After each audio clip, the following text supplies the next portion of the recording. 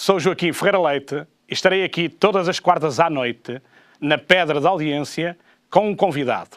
Com ele abordaremos histórias da sua vida e uma visão que tem da nossa região e do nosso país. Não esqueçam, conto convosco, quartas à noite, aqui na RTV.